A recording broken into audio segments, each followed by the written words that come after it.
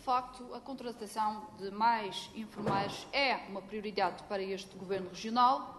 Ainda esta semana foram admitidos mais 25 profissionais no serviço, estão a ser admitidos, estão a ser recebidos nos diversos serviços que têm as suas carências e que estão muito satisfeitos por receber novos profissionais, sangue novo, pessoas com vontade de trabalhar e de dar o seu melhor diariamente ao Serviço Regional de Saúde.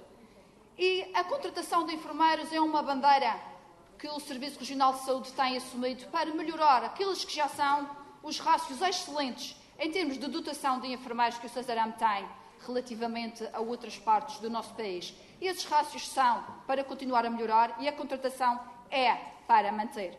É verdade, Sr. Deputado, que existiam de facto profissionais a trabalhar a prestação de serviços com recibos verdes, mas eles foram sendo progressivamente incluídos nos quadros de pessoal do Cesaram e representam uma grande mais-valia para a prestação de cuidados de saúde.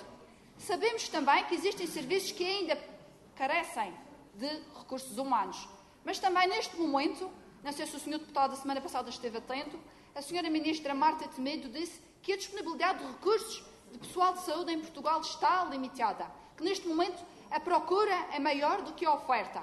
E ainda bem que assim o é, que é sinal que precisamos ainda de formar mais pessoas, mas também é sinal que tivemos a deixar escapar durante algum tempo mão de obra qualificada para o estrangeiro.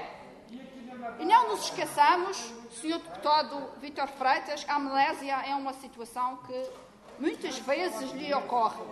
Não, não nos esquecemos, não, não tenhamos memória curta não tenhamos memória curta e não nos esqueçamos porque é que se chegou à situação de imigração.